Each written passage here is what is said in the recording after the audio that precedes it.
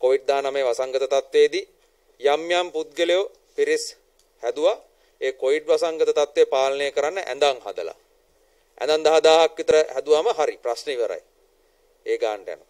ඊට පස්සේ ඉස්පිරිතාල ටිකක් අලුතෙන් හැදුවාම කොවිඩ් 19 සඳහා වූ රෝහල් කීපයක් හැදුවාම ඒ ප්‍රශ්න ඉවරයි.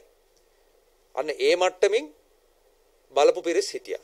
එතකොට මේ භෞතික සම්පත් දිහා බලලා විතරක් අපිට රටක සෞඛ්‍ය සේවයේ පැවැත්ම සෞඛ්‍ය සේවයේ දියුණුව ගැන සහ හරියාකාර සෞඛ්‍ය සේවයක් ජනතාවට අවසානයේදී ලැබෙනවද කියන එක ගැන අපිට තීන්දුවක් නිශ්චිතව දෙන්න බෑ.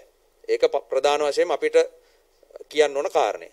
මොකද කියනවා නම් මේ වෙනකොට මේ රට ඇතුලේ බොහොම අර්බුදකාරී තත්ත්වයක් මතුවලා තියෙනවා මේ වෛද්‍යවරුන් බෙදී යාම සම්බන්ධ.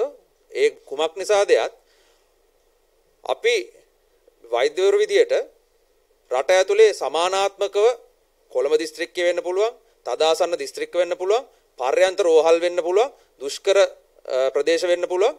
මේ සියලුම ස්ථානවලට වෛද්‍යවරුන් හරියාකාරව බෙදී යන්නේ මේ වෛද්‍යවරුන්ගේ ස්ථානමාරු ලැයිස්තු නිසියාකාරව ක්‍රියාත්මක වීම නිසා. ඒත් එක්කම නවක වෛද්‍යවරුන්ට පත්වීම් ලබා දීම මේ හරියටම මේ එක ට්‍රැක් එකේ හරියට මේක ගමන් කරොත් තමයි මේ විදිහට අකණ්ඩ සේවා සැපයුමක් අකණ්ඩ වෛද්‍යවරු සැපයුමක් ඇතුව රට පුරා රෝහල් සහ අනිකුත් ඒ සෞඛ්‍ය මධ්‍යස්ථාන හරියාකාරව නිශ්චිත නිශ්චිත විදිහකට ක්‍රියාත්මක වෙන්න පටන් ගන්න. එතකොට තමයි රෝගීන්ට ප්‍රතිඵලය ලැබෙන්නේ සහ සෞඛ්‍ය දර්ශක වලින් අපි ඉහළට යන්නේ මෙච්චර කාලයකට සිදුුනේ එහෙම. නමුත් මේ දැන් පසුගිය රජයේ වගේම මේ රජය වෙනකොටත් මේ ස්ථානමාරු ක්‍රියාපටිපාටිය දිගින් දිගටම ඊ타මත්ම බරපතල විදිහට උල්ලංඝනය වෙමින් පවතින ආකාරයක් වෙන්නේ. ඒ වගේම හරියාකාර ක්‍රියාත්මක වෙන්නේ නැති බවක් තමයි අපිට පෙනියන්නේ. ඒකට හොඳම උදාහරණය තමයි මේ වෙනකොට පශ්චාත් සීමාවාසික වෛද්‍ය පත්වීම් ලබා ගන්න බලාපොරොත්තුවෙන් නවක වෛද්‍යවරුන් 1500කට ආසන්න ප්‍රමාණයක්. ඒ කියන්නේ කණ්ඩායම් දෙකක් 500ක විතර කණ්ඩායමකුයි 1000ක විතර කණ්ඩායමකුයි තවමත් බලාපොරොත්තුෙන් සිටිනවා. ඒ වුණාට තාම සෞඛ්‍ය අමාත්‍යාංශයට කිසිම අදහසක් නැහැ. හරියාකාරව කොහොමද මේ පත්වීම් ටික ලබා දෙන්නේ? රට පුරාම තියෙනවා කොවිඩ් සම්බන්ධ රෝහල් තියෙනවා, සාමාන්‍ය රෝහල් තියෙනවා.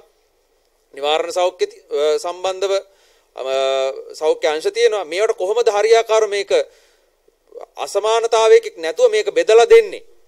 කොහොමද කියන්න? හරි තීරණයක් සෞඛ්‍ය අමාත්‍යාංශයට නැහැ. බලධාරීන්ට නැහැ. ඒකෙන් අවසාන පාඩුව විඳින්නේ රටේ මහජනතාව.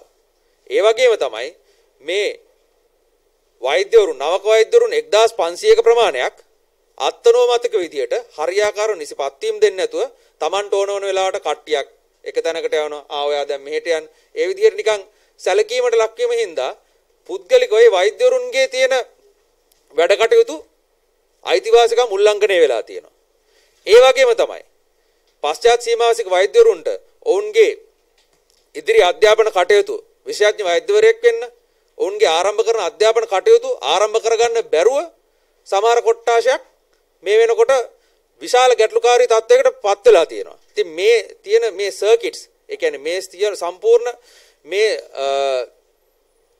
කොටස් ඔක්කොම බිඳ වැටීමකට ලක්වීමේ තර්ජනයකට දැන් ක්‍රමෙන් ක්‍රමෙන් අපි මූණ පාගෙන යනවා.